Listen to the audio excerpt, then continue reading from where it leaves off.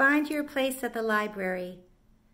Join a virtual program or check out our digital materials. Find your place at the library. Find your place at the library.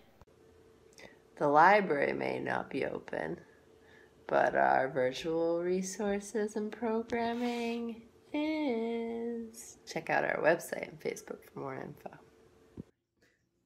Find your place at the library.